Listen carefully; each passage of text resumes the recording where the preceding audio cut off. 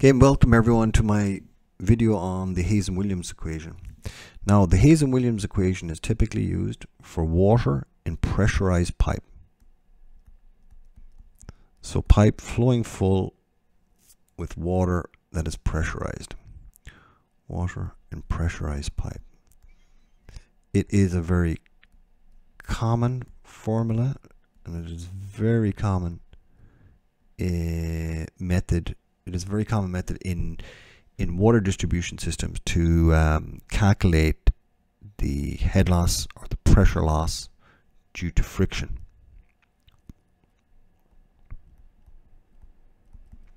Okay, so really what I should do here is I should really put in F because it is friction. Okay, you cannot use this equation to calculate minor losses it is only used to calculate friction losses. Now what I'd like to do before we do an example is to go down through each parameter so you understand what we're looking at here. The first thing is the HF itself, which is the head loss due to friction. Um,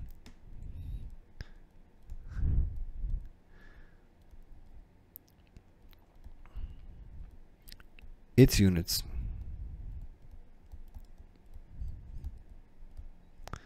uh, are uh, feet or meters, depending on whether you're in US customary or SI, metric. So next up is L, and that's the length of the pipe.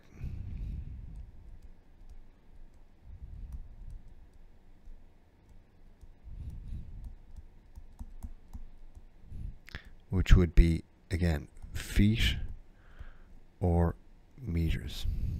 And again, you have no choice in this equation about using these units. You cannot decide yourself to put in the length of the pipe, say for example, in miles or kilometers. It is, if you do that, you will get the wrong answer. Okay? There are built-in unit conversions here, so you must use the units that I am showing here. Okay, next up is V which is the velocity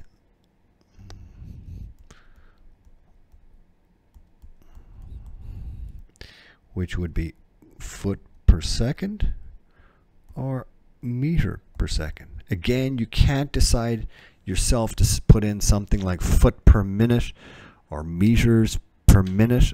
Not acceptable. It will not work. You will not get the right answer. Next up is a C value and that's a, what they call a roughness coefficient.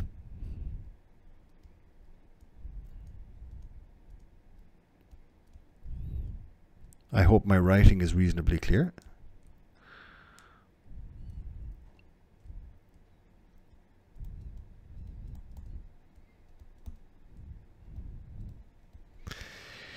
And it is unitless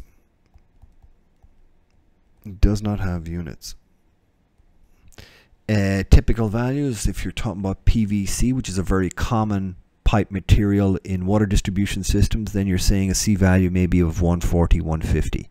If you're talking about concrete, then that would be uh, that would be somewhat lower. So, so, so, for example, you may have a C value of 110, 120, maybe even 100. So in that range. Next up is K which is a unit conversion, which is a constant. And if you're in, uh, maybe we can write that a little better. Conversion. And if you are in US, then it is equal to 1.3 US customer units. and if you are in SI then it is 0.85 now the final one we have to look at is R which is called the hydraulic radius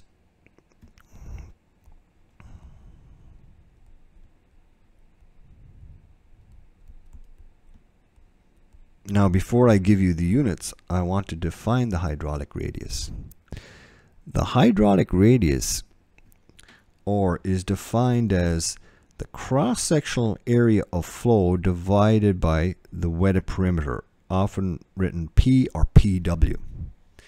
Now, if I have a pipe flowing full, so for example, here's a pipe, circular pipe, circular pipe flowing full, watch. The area of flow is simply the area of the cross section, which is the area of a circle. So we have pi r squared on top. Now, the wetted perimeter is simply, as indicating here, is the outside of the pipe here. And that would be the circumference of the same circle. So it would be 2 pi r. Now, when you cancel these various various parameters, you get r all over 2, which is the equivalent of d all over 4. So it's the diameter divided by 4 or the radius divided by 2.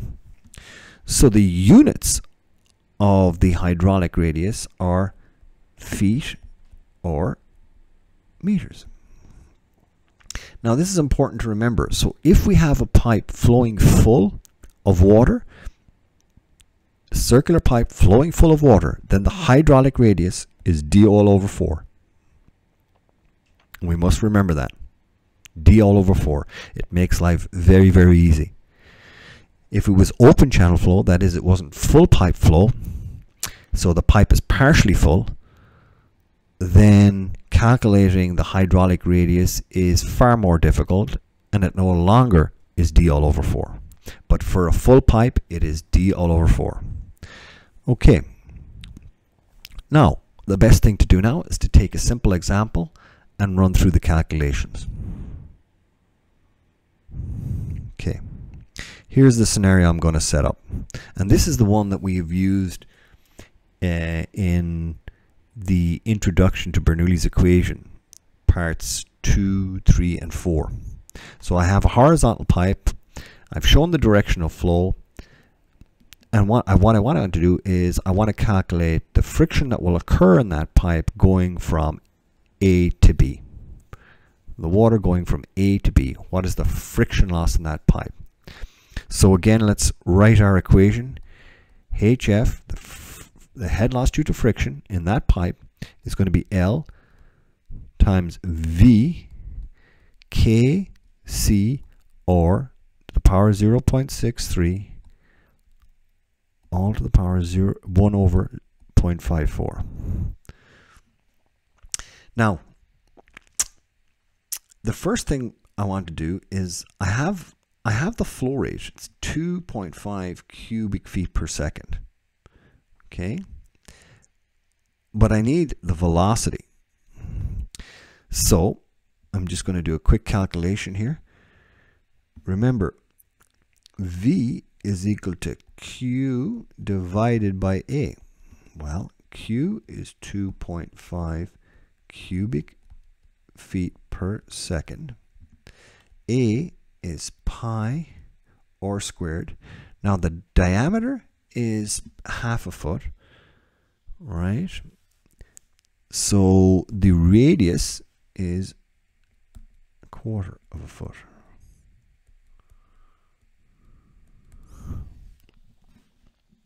So we have 2.5 divided by pi divided by 0.25 squared.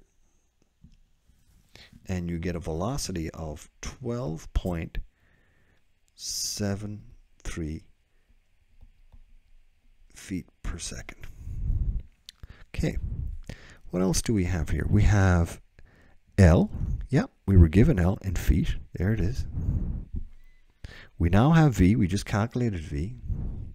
K, well, let's see. K is a constant, and for US customer units, it's 1.32. So we have K. We have C. We know that it's a PVC pipe. So C, the C value, the roughness coefficient is 150. And you, you'll either be given that in the problem, or um, you can look it up online and find it out.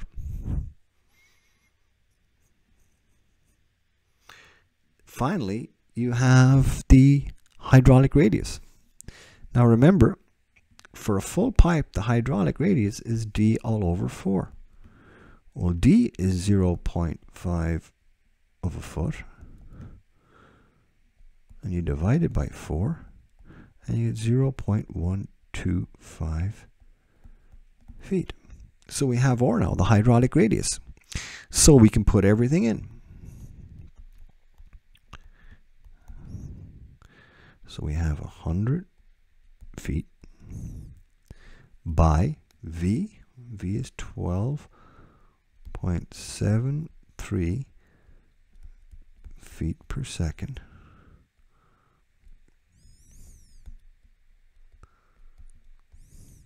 C, that's K. K is constant, 1.32 for US customer units. C is 150, we're given that. Or we calculated the hydraulic radius, 0.125 of a foot and then it's to the power 0.63 all over 0.54. Now, I appreciate the fact that all that calculation can be done in one step in your calculator. I realize that. But my advice is to just do this calculation first and then finish it off. You're less likely to make a mistake. Okay? So when you do that calculation, you get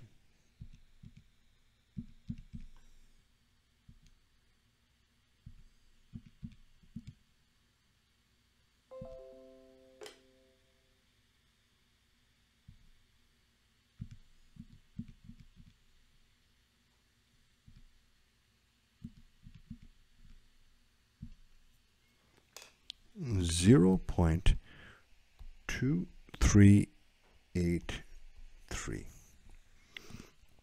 And when you finish the problem, I hope that you get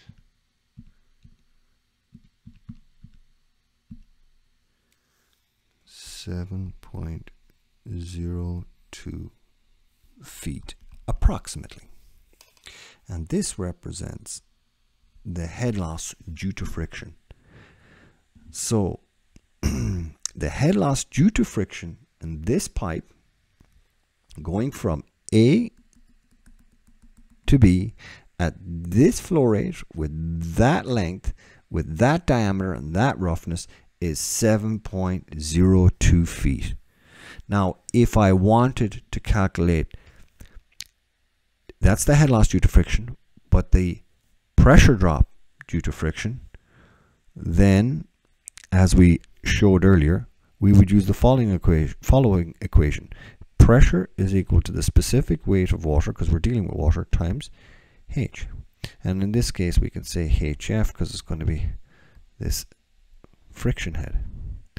So that's 7.02 feet multiplied by 62.4 pounds per foot cubed. Now that's going to give me pounds pounds per foot squared, right? Which is correct, which is a force per unit area, but I want it in pounds per inch squared.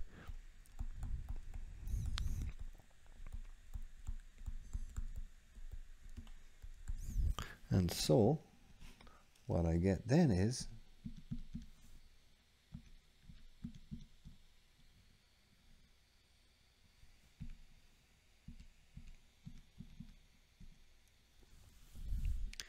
approximately, approximately 3.03 psi. So we went from pressure head to pressure. Again, this would be the pressure drop due to friction. This would be the head loss due to friction. Same thing expressed in two different ways. That's all. So again, if you found this helpful, let me know thumbs up, subscribe, share, and let me know in the comment section if there's any other topic or any other topics that you would like me to cover. Okay, thank you, and we'll see you in the next video.